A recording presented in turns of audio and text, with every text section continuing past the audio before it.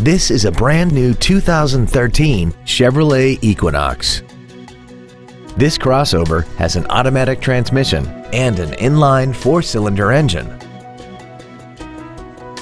Features include air conditioning, cruise control, heated side view mirrors, a digital information center, a security system, tinted glass, traction control, an anti-lock braking system, a rear window defroster, and alloy wheels.